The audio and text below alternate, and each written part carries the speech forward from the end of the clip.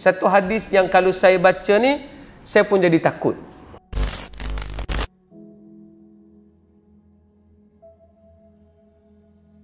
Hadis ni apa tuan-tuan?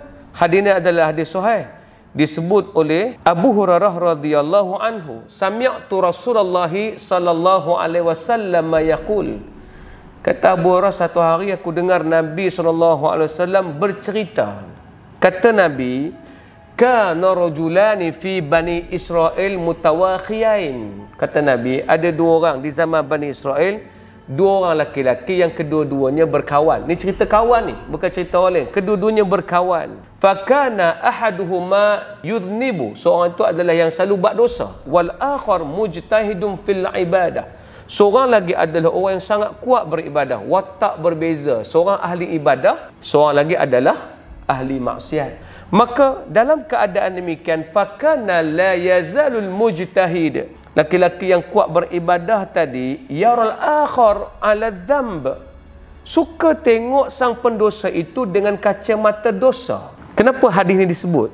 Sebab jangan orang beriman belagak dia beriman sangat. Dan kita bukan mengiktiraf dosa orang tu. Dosa tetap dosa tapi react kita tu macam mana nak buat? Ni nabi ajar hingga kan orang yang suka beribadah itu yaral akhar ala dhanb melihat sahabatnya suka melakukan dosa fayaqul aqsir dia suka sebut Oi, berhentilah buat dosa. Oi, berhentilah buat dosa. Dia suka sebut perkataan tu. Dan ingat, perkataan tu tak salah. Tapi yang di hujung tu. Apa dia kata? Lepas tu, bila kena sebut perkataan aksir, berhentilah buat dosa, laki-laki yang mendosa ini pun kata, Khallini wa rabbi abu'itha ala raqiba alayya raqiba. Dia pun kata, jangan duk kacau lah kerja aku. Aku nak buat dosa ke apa. Buat. Tuhan bangkitkan hang nak jaga aku kah? Jadikan hang sebagai orang yang duk pantau dosa aku. Sang pendosa ni sebut. Bila sang pendosa ni sebut tuan-tuan, sang mujtahid tadi yang beribadah tadi marah dia pun kata, "Wallahi la yaghfirullahu lak." Demi Allah, Allah tak ampunkan dosa hang. Aku tegur hang buat maksiat, tapi hang duk lawan aku. Demi Allah, Allah tak ampunkan dosa hang. Sebut gitu tuan-tuan. Dia tambah lagi perkataan, "Au la yudkhilukallahu al-jannah." dan Allah tak akan masukkan hang dalam syurga. Oh, oh tuan-tuan. Tuan-tuan rasa ayat ni selalu tak orang-orang kita sebut? Hang tu berdosa banyak. Hang tahu tak kalau hang buat macam tu tak masuk syurga orang. Kita suka mengugut orang tak masuk syurga. Faqabida arwahuhuma. Lalu kedua-duanya mati. Allah pun menahan kedua-dua roh mereka.